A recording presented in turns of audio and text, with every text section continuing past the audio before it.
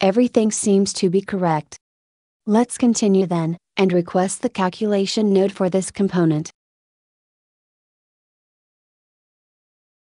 Here we've the respective information. Finding first the reinforcement data.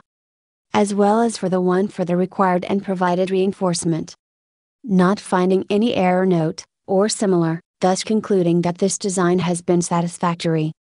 Nonetheless and quite important, we need to verify the punching stress, of the columns over this reinforced concrete floor. Which and according to these diagrams, should present no issues. But let's proceed, and look for the result graphs for the punching over this component. And for which we find these three points. Including their respective values. Having what we could say, are satisfactory results, or a proper relation between the provided, and required.